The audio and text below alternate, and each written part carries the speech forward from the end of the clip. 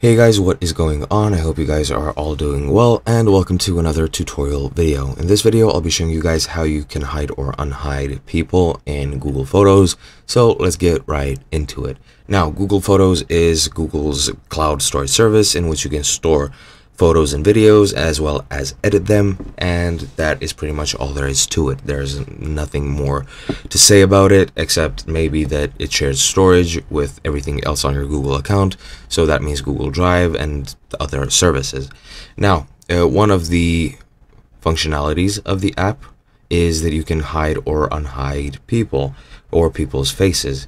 And here I'll be using this article in the photos help section to explain to you how you can do that since I'm not sure you can do it on PC. I am sure you can do it on mobile though. However, I cannot record mobile due to a certain bug that's preventing me from recording. However, just follow these steps and everything should be perfectly fine. Uh, but yeah, uh, the first thing you want to do, of course, ensure that you have the latest version. And if you do, just enter the Google Photos app and tap the search icon at the bottom. Uh, tap view to see all the thumbnails of all the people and pets. Uh, and once you're there, tap the three dots in the top right corner and then tap on the menu hide and show. Uh, this menu works like a toggle. If you tap once, the hidden faces will become visible. If you tap a second time, then the person will be hidden again. Uh, after that, uh, you'll see all the hidden persons with a symbol of eye and a slash across that. Tap on the eye once. Then uh, the eye icon also acts as a toggle, just the same as the menu.